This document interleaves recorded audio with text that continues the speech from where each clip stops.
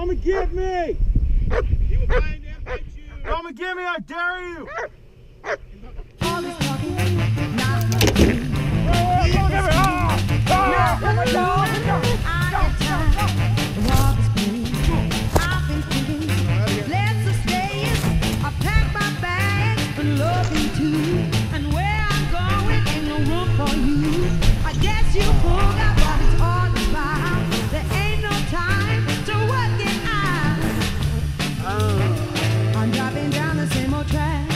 I'm Frank Romano, and I've been working with canines for over 28 years.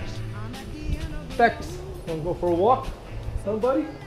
Becks and I uh, didn't have a real long career. He came on in 09, and then I got injured in 2013. That's what put me out, and I've been out since.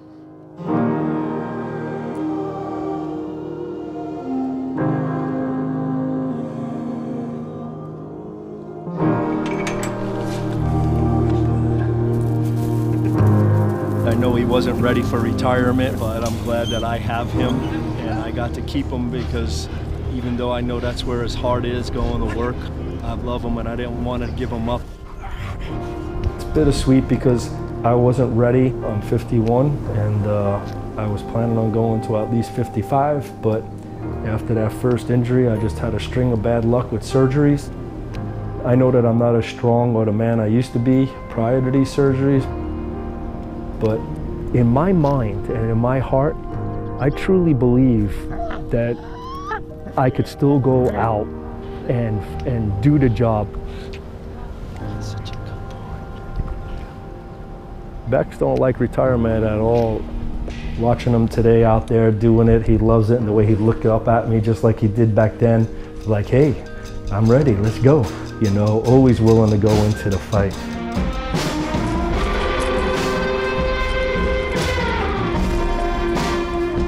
We done a lot of bomb sweeps. Revere. We were responsible for the Golden Gate Bridge, so we did a lot of sweeps at the bridge.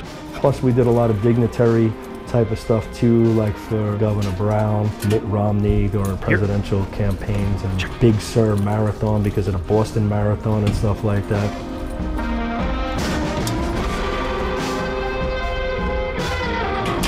We've got a lot of hazards out there, and uh, these canines are there to help protect their human officer. The bond between uh, a handler and a canine is like no other. Rex was my first canine partner who had cancer and uh, passed away. Uh, he didn't die in the line of duty, but to me, he was my faithful partner. He was a great partner, great partner. I hadn't cried since my dad passed away, and before that, since I was a kid. When you become a man, it, it's hard to cry, and it hurt. It hurts all over, you know, from within, and uh, that was hard. It was hard.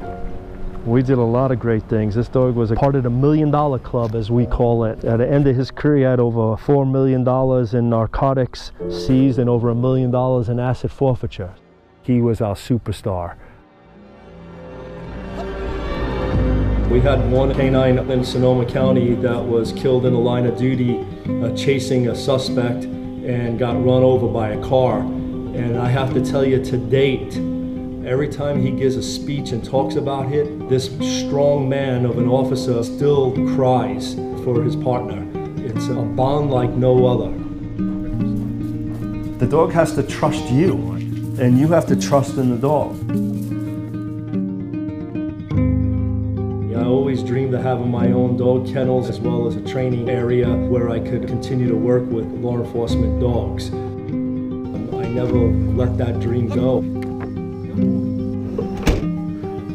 Let's do it again. We're gonna do one more. I always make sure that they got the best of the best so that the officers could all get home to their family. I had a great career, but it's not the way I wanted it to end.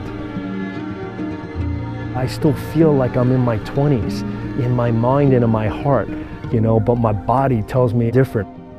I need to just move on to a new chapter.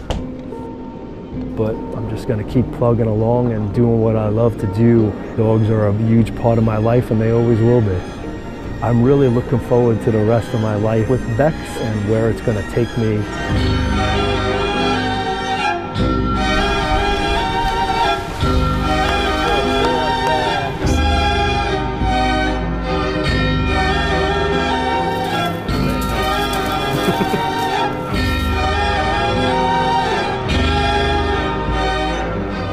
For every road that ends, a new one begins.